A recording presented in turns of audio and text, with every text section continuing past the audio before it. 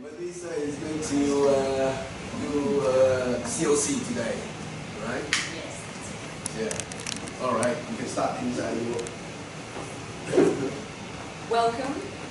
Thanks for making it out on this very windy and unpleasant day to see my COC. I really appreciate it. I think I know everyone here, but my name is Melissa Schellekens, and today I'm going to be presenting on my proposed thesis, which is social vulnerability and self-concept, identification of factors that moderate the relation between positive self-concept and high school completion. So first, just to make sure we're all on the same page, I want to go through a few definitions. So high school dropout is the final step in a longer process of student disengagement from school and it means they leave school before completion and they never go on to complete year 12.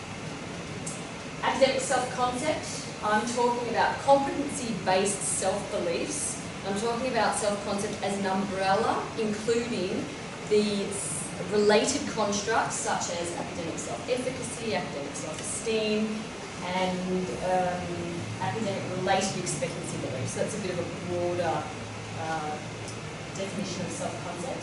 Academic achievement, I'm talking about test scores and I'm talking about subject grades. And educational outcomes, I'm talking specifically about uh, behavioural outcomes associated with learning objectives. And when I'm talking about vulnerable young people, I'm using this definition of vulnerable young people. Young people at risk of not realising their potential to achieve positive outcomes in life, where the risk is shaped by underlying social dimensions based on social and economic conditions that generate these vulnerabilities. So just quickly, before I was here at IPPE, I was living in Colombia, in Bogota, Santa Fe de Bogota, where that star is, which is in South America right here. And these are some of the young people that I was working with. So this is a group of girls who were in a workshop that I put on. And I'm going to talk about this girl here, who we'll call Adriana for the sake of this presentation. Adriana is 13 years old. She lives in a very poor suburb of Pereira, which is a city in Colombia. She's been taken away from her family and at the moment she's living for four months in a state-run institution with 40 other girls who are taken away from their parents because of sexual abuse in their family. And they go back to their families and their families have undergone some kind of program to remediate the issue. And then they come back to this institution. So they're in and out of institutions. Um, these girls do attend a local high school, which is around the corner. And as you can imagine, their attendance is a little bit flaky and their behaviour is a little bit difficult. This is a group of uh, Indigenous children, one of the many Indigenous groups in Colombia. It's an, it's an informal preschool that was put together by one of the mums of one of these kids and subsequently they got some funding from the government. And these children from a very young age, learn the craft of their parents, which is to make these amazingly detailed beaded necklaces, which they sell on the streets of Bogota for not much money. And some of these kids will go to high school. Uh, at the moment, they're, they're, internally displaced people, so about 15 years ago they were moved from their ancestral lands, and since then they've been living in insecure housing, in dangerous suburbs that are controlled by criminal gangs in Colombia. So, my question to everyone here is, who thinks that kids like these are going to not complete high school? Put up your hand if you think it's quite likely that these kids will probably not complete high school.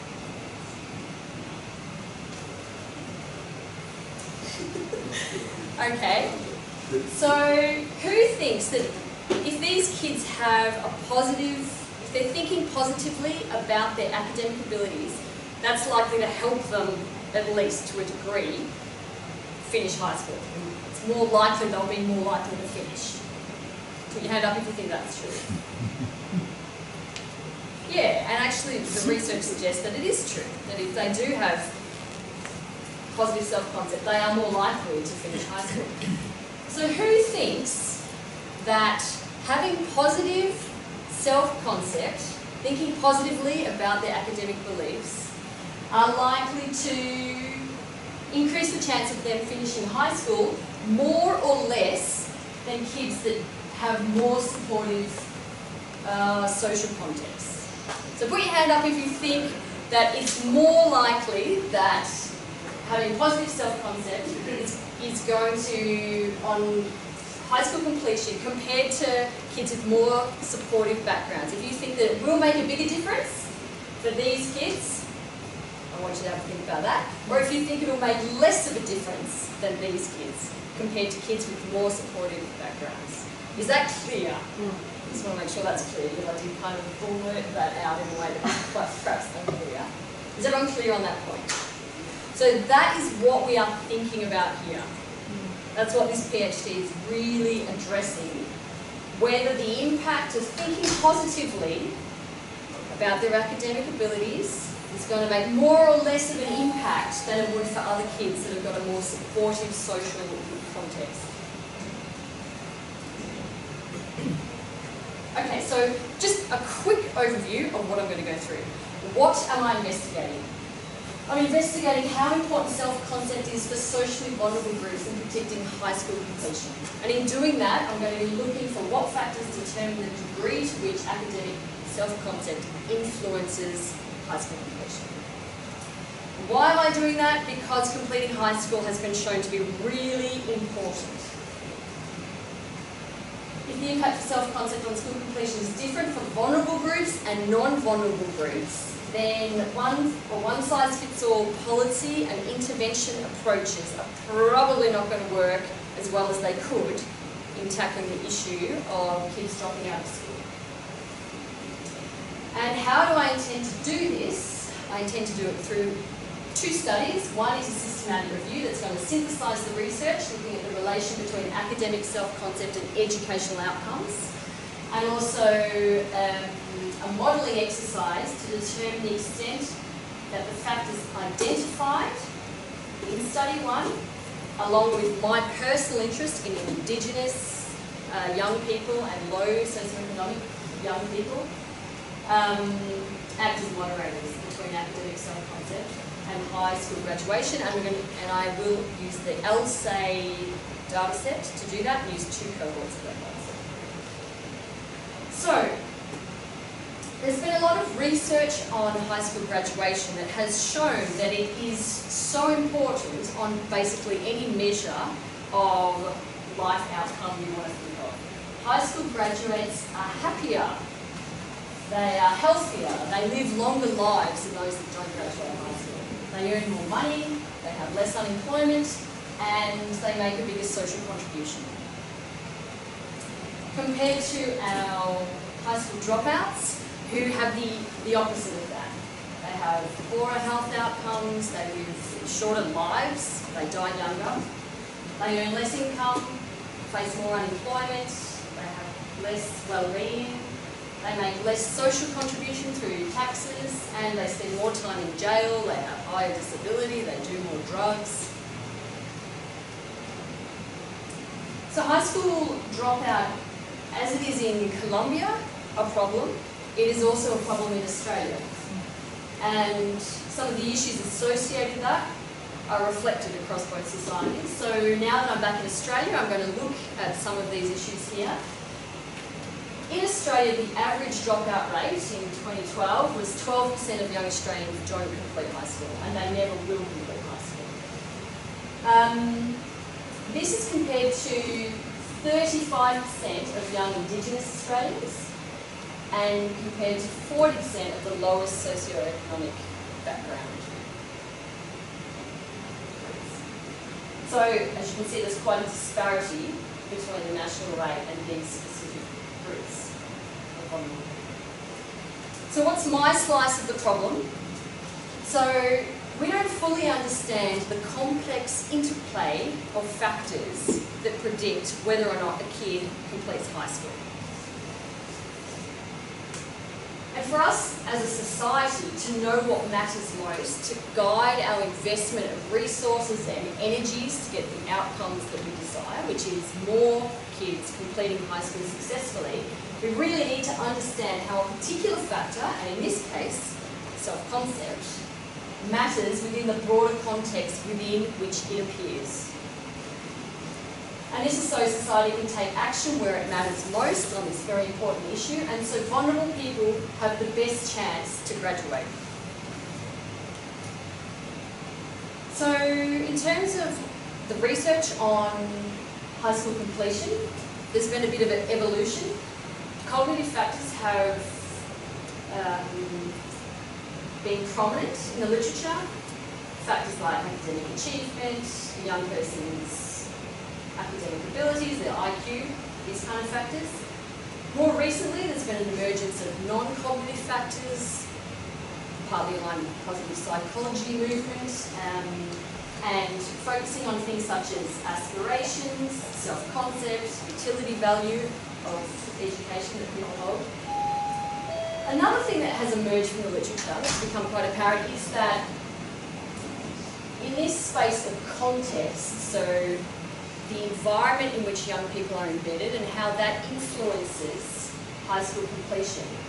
There are a lot of authors who have really started to voice that this area at the moment is underrepresented in research. So factors like socioeconomic status, indigenous status, locality, there's a whole lot of demographic background factors that in the area of educational psychology have not gained as much prominence as a number of, quite a large number of authors uh, indicating that perhaps it should. So just a quick overview of the literature as it relates. So we know that academic achievement predicts a whole bunch of educational outcomes, including high school completion. We also know, and that's part C, we also know that academic achievement predicts academic self-concept, and we know this very well. we also know that it's a reciprocal causal relationship, so academic self-concept also predicts achievement. Uh, there's also been quite a lot of research in the area of educational outcomes as the outcome variables. Uh, that is academic achievement predicts high school, uh, high school completion to a lesser extent, but there's quite a lot of research. Academic achievement predicts educational outcomes, and this is mediated by path B, the mediation path B, with the mediator academic self-concept. So this, for, for educational outcomes, there's quite a lot of research there for different outcomes, such as um, student engagement, course completion, university entry, um, educational attainment levels. I'm looking more at um, high school completion, and so the literature that support that link is much smaller. The mediation link, self-concept is the mediator, is much smaller, and it actually focuses on academic self-efficacy, which is under my umbrella of academic self-concept. And these are some of the articles that have shown that. So that's just a bit of context. So self-concept is important for many educational outcomes. Some studies show it's important for high school graduation, but what are the factors that determine the degree to which self-concept influences successful school completion? Hmm, wonder. So, in my two studies, I'm going to do a systematic review, the objectives of which are going to be to synthesize the research on this relation between academic self-concept and educational outcomes, and to identify the moderators of this relation. Research question for this uh, study is what is the relation between academic self-concept and educational outcomes? Terms of educational outcomes, I'm going to look at outcomes related to school completion, so search terms will include, include school completion, school attendance, year level promotion, school engagement, educational attainment will be examples. And what are the factors that moderate the relation between academic self-concept and educational outcomes? The way I intend to do this is by going through our standard systematic review process.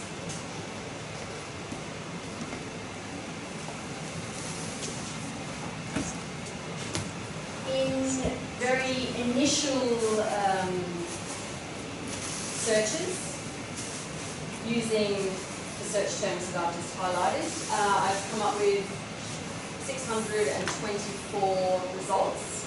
So that was looking at uh, title and abstract searches for uh, high school completion related outcomes, academic attainment, um, student engagement, grade retention, educational attainment, these type ones. Both. And then also our self-concept uh, search term equivalents, uh, such as academic efficacy, um, academic self-esteem, and all of those things. So there's a variety of potential moderators. Um, few of right there. And basically, we're just talking about the things that in, what enables or what constrains a young person's decision to continue in school. And so that'll be really interesting to see what comes up. So I'll be looking at the moderators and I'll also be looking at what doesn't come up, what are the gaps. These are just two very quick slides looking at um, Indigenous status as a likely moderator. So um, this is obviously important because the dropout rate is really high for Indigenous Australians. There's a bit of research that shows that this is probably related to something to do with social capital and differences in the way that Indigenous and non-Indigenous people see themselves in the world. The socioeconomic status, again, it is a problem in Australia for people from low, low SES backgrounds. And again, it is possibly due to the role of social capital being different between high and low SES, and then also the way that they perceive themselves in the world and how that affects their behaviour. So the outcomes of study one will be an enhanced understanding of this relation between academic self-concept and um, educational outcomes, and also a better idea of what the literature says the factors that moderate that relation are, and also an understanding of the gaps in the literature. So my study two is related to study one, in that study one will ident identify moderators and gaps. And study two, I'm going to draw on that and also my interest um, in Indigenous and low socioeconomic background to look at the role of potential moderators, explore gaps through the modelling process. So, uh, for study two, the objective is to determine the extent to which Indigenous status acts as a moderator, and also determine the extent to which SES acts as a moderator. The research questions are, is the relation between academic self-concept and school completion moderated by Indigenous status? And is the relation between academic self-concept and school completion moderated by socioeconomic status? And of course, this, these are my areas of interest. Uh, depending on what comes out of um, the literature review, we can look at some other stuff as well. It'll be interesting to see how the literature review relate, uh, relates to these two and what other potential moderators come up. We can explore. So study two, uh, as I've mentioned, is going to involve the longitudinal survey of Australian youth. I'm going to focus on the 2003 and 2009 cohorts. Uh, it's a nationally representative database uh, with quite large sample sizes. I think it's about 12,500 or 14,500 participants in each of those two cohorts. The first wave of each of the cohorts um, has undertaken a PISA assessment. The measures that I intend to use are an academic self-concept measure. So there's a couple of those. There's a generic one compared to most other students in your year level, how well are you doing overall? And there's also domain-specific versions of that question relating to maths, English and science. Um, and then there's also some multiple items, self-concept and self-efficacy, uh, domain-specific measures as well. For socioeconomic status, I'm going to use the PISA Index of Economic, Social, uh, Social and Cultural Status, which is a measure of basically the status of the parents' uh, profession or their job, their highest level of education, and then uh, an assessment of items in the house, like many books they have and other wealth indicating items. For academic achievement, it'll be the PISA academic tests, outcomes in maths, reading and science. There's um, Indigenous status is a question, are you Indigenous or not? And that will look at whether um, participants know that they're Indigenous and are Indigenous or whether they don't know they're Indigenous or are not Indigenous.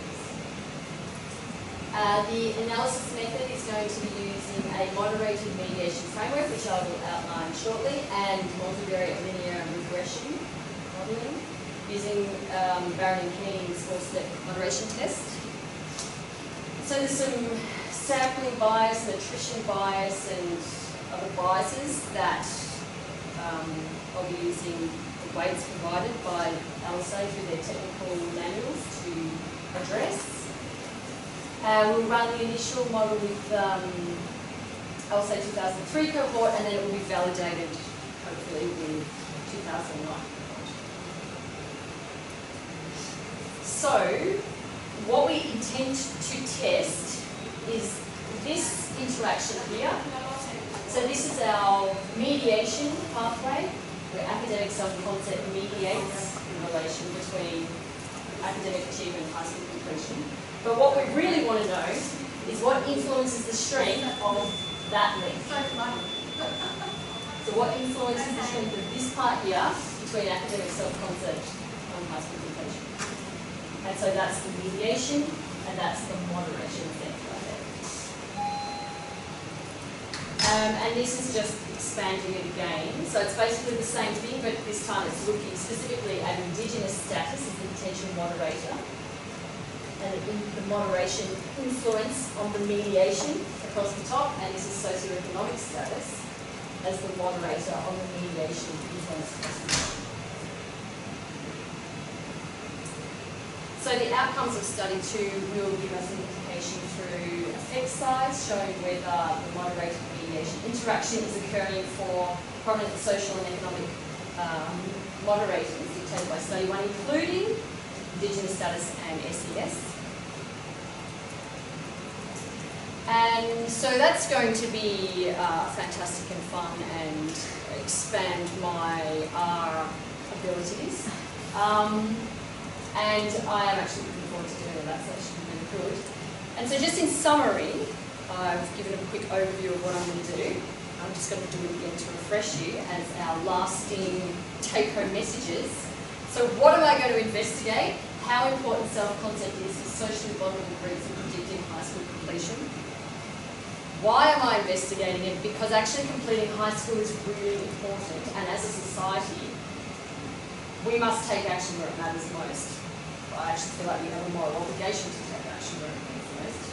And how am I going to do it? Through a systematic review and then through a multi, multi-area regression modelling exercise, which I have just outlined.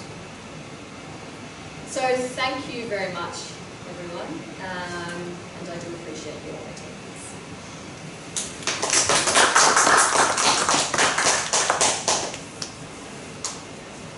Any questions?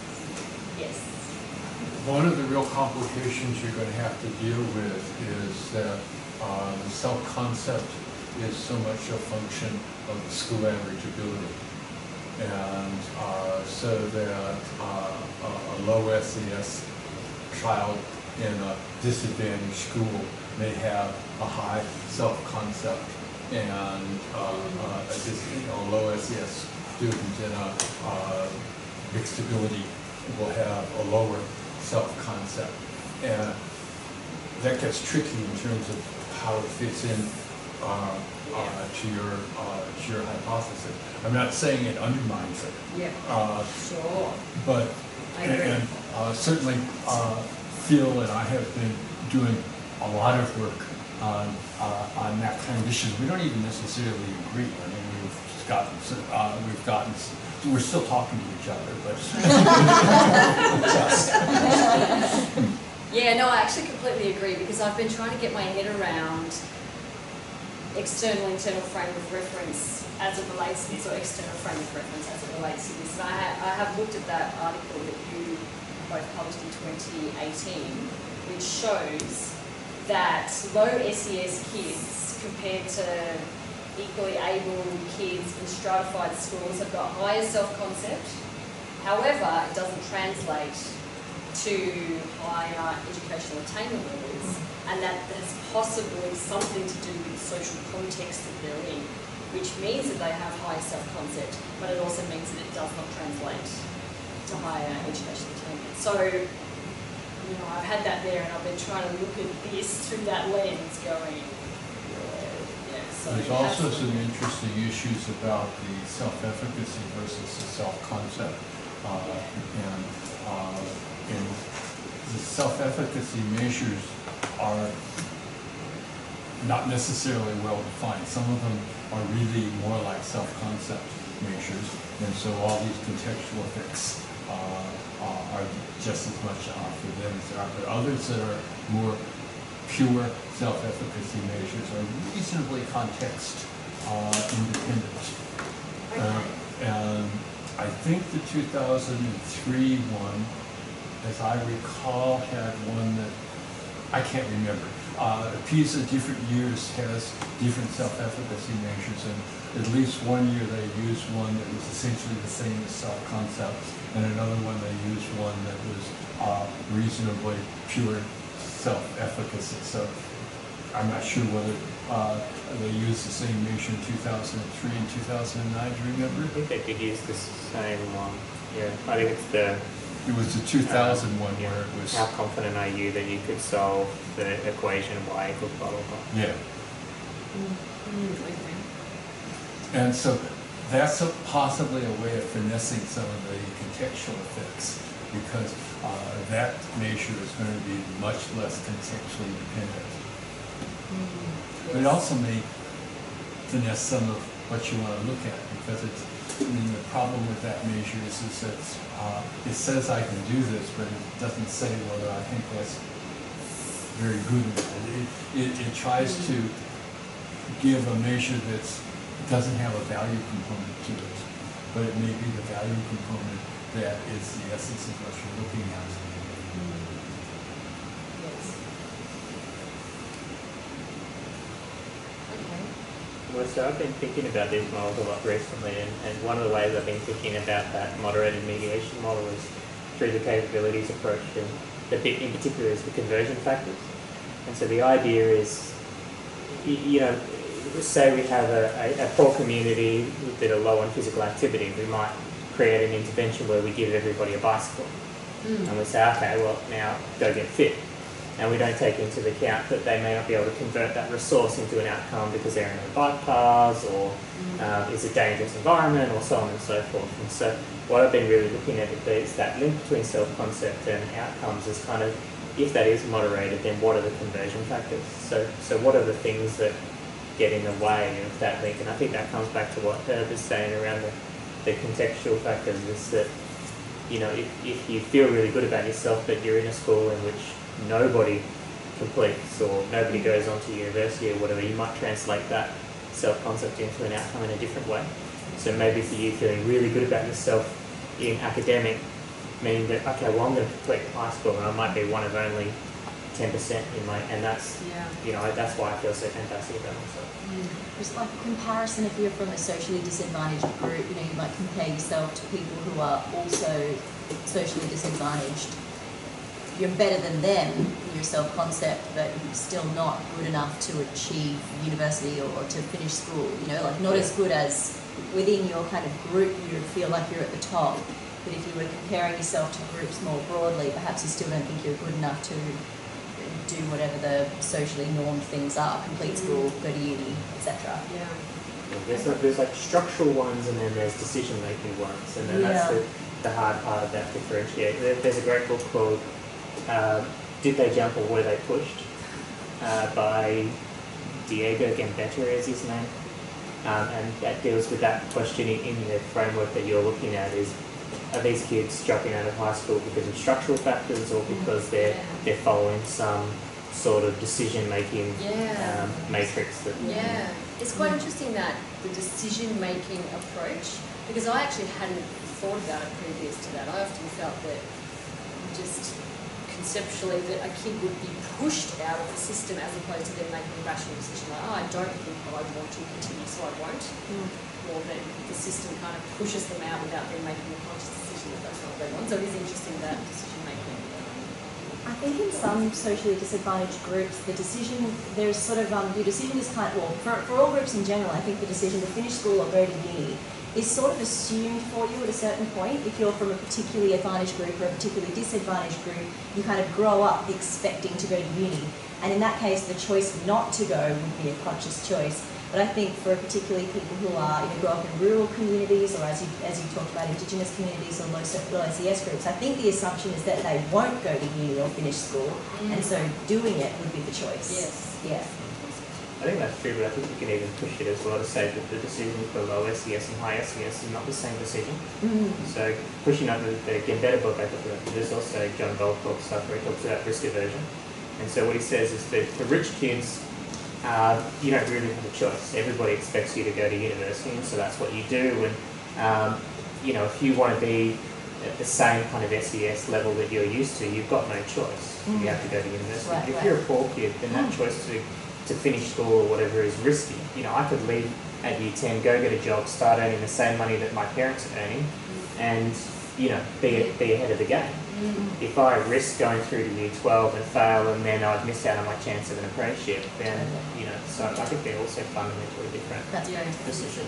And also I think it's, it's heavy costs associated with it, that differentiation from your people, where Mm. often that can be received quite negatively from family and friends, who are like, oh, you think you're better than us now. Yeah. And just practical as well. I mean, if you're on a farm and you're not going to contribute, you're going to leave. You're going to leave town to move away from the family.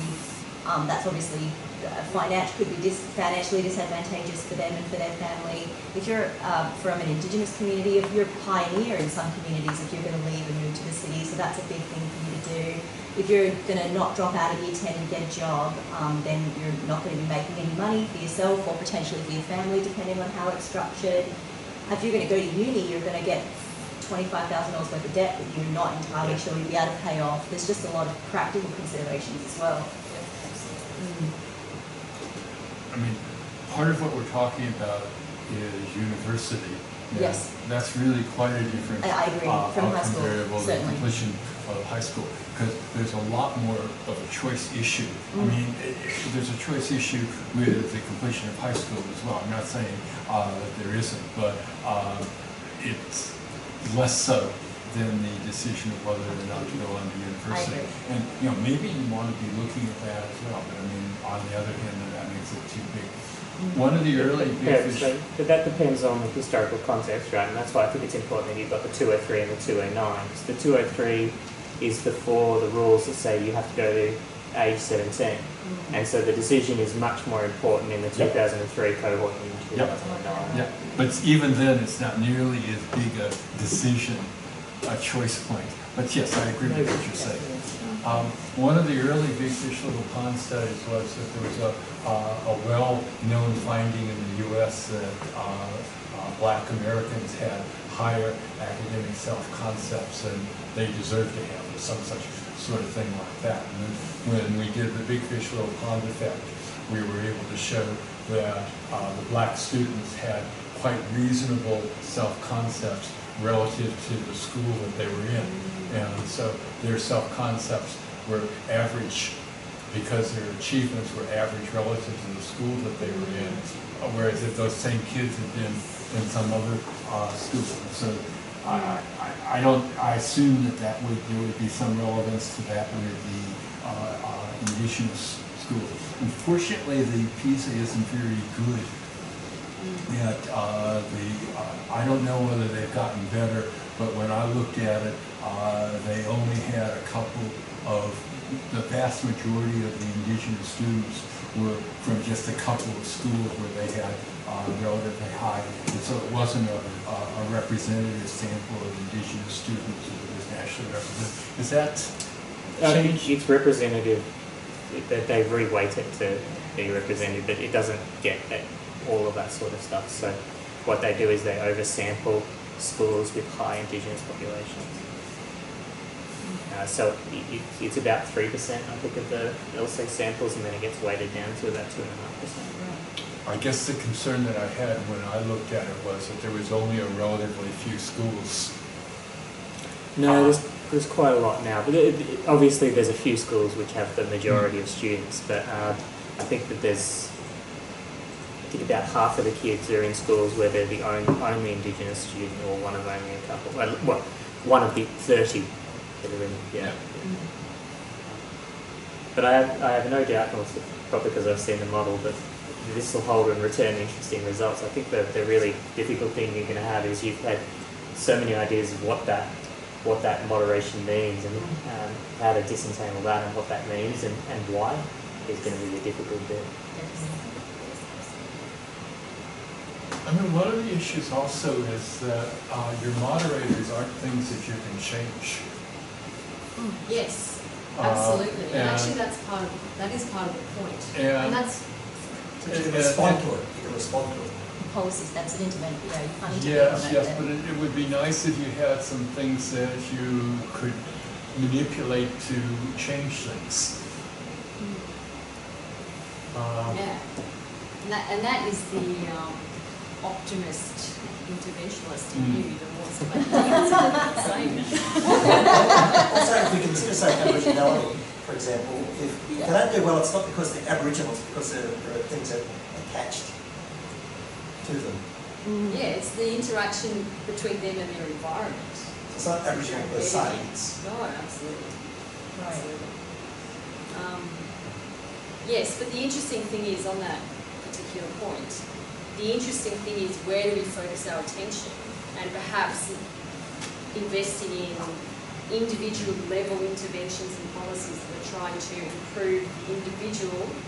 Maybe in some contexts it might be more valuable that we actually look at the bigger picture and how can we, at what point are we able to tinker on the bigger picture to get better outcomes? So it requires actually a broad pushing back of the boundaries of some of these disciplines around educational psychology to encompass a broader contextual approach. By the same token, you're also pointing to policy level nuance. If you find that um, for that, that link, the, the mediation link is moderated by SES and Indigenous status such that those people don't benefit to the same degree by having their self-concept intervened on, increasing self-concept doesn't increase their school completion, for example, then nationwide interventions to increase self-concept, to increase school completion are, aren't as effective mm. for those groups. So you're, you're pointing to policy nuance as well, how mm. if that's the case, if that's the result, we need to think about other ways, um, other Yes. ways to get those people to complete school. Yes, because that's what otherwise, we want to do.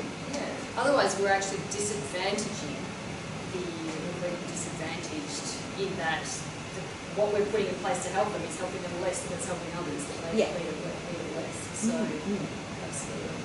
Yeah, and I suppose the what it is trying to do is trying to say, let's not set people up for failure. Where we say, you know, it's all on you. You can do it. You can do it. Believe in yourself. And then when they don't, we're like, well, you should have believed in yourself. You Yeah. could have done it. You did it. It's your fault. Mm. So.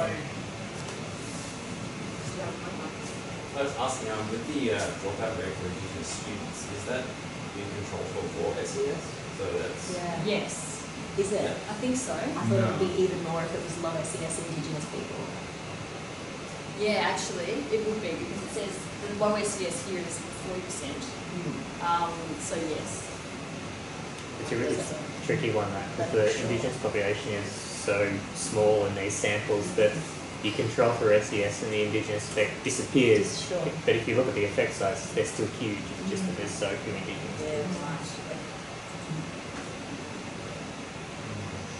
I mean, you end up, I think with yours, I think from memory, you've got somewhere in the vicinity of around 300 to 500 kids that are Indigenous in that sample. compared to 12 and a half, 13 and a half thousand Yeah, uh, non-Indigenous kids. And so yeah, you can get why. yeah, sure. Is there any other questions? I'll ask you one that's not about statistics for change. Uh, so on your systematic review, you wanted to look at moderators, and you picked a couple ahead of time for Indigenous status and SES. Indigenous status is a strange one for systematic review, only because the literature that, that includes Indigenous is going to include Indigenous Canadians and Indigenous Americans. Are you interested in that, or are you just interested in? Yeah, I actually, people? I actually really am, particularly because of my international interest.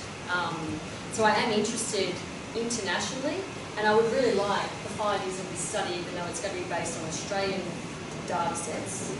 Um, I'm interested in the potential applicability of that information for other in other countries. So you know, I presume some of it will be translatable, or at least it'll be interesting to people in those different countries. So yes, I am more interested more broadly.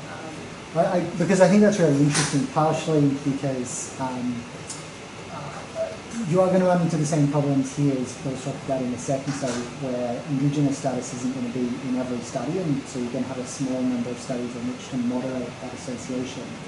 But also, Indigenous status probably moderates differently based on country. So Australia has done a pretty poor job with its Indigenous population Whereas you could argue places like New Zealand is probably going to have less of an effect, uh, and even in some, like Canada, um, might as well. So you might have this problem where you want to look at Indigenous status, but it kind of all gets washed out together. Um, so for your purposes, if you can find Australian Indigenous studies, those ones will probably support your second study better than Indigenous as a catch-all Do category. you suggest double coding those? You know, just a binary code, Indigenous versus I do. non-Indigenous, and then coding within Indigenous? Yeah. Yeah. Yeah. It'd be interesting though, and we could limit it to Indigenous as well. I mean, I think about like in Switzerland where you've got the, the French, German, and Italian cantons, and the Italian kids do s- markedly worse than the other two. Right. Um, so looking at the you know multi-nation states as well would be interesting. I don't know how much of that there is. yeah. Okay. Joseph, did you have any questions? Is it, No, is it, Oh, It's still there. It's good, yeah. I'm gonna ask me. okay, no worries. So, He's going, Okay, good. he's going faster than me. Okay, well, unless uh, there's anything else, I think we're finished. Okay. Thanks, thank you. Thank you, Melissa. Thank you.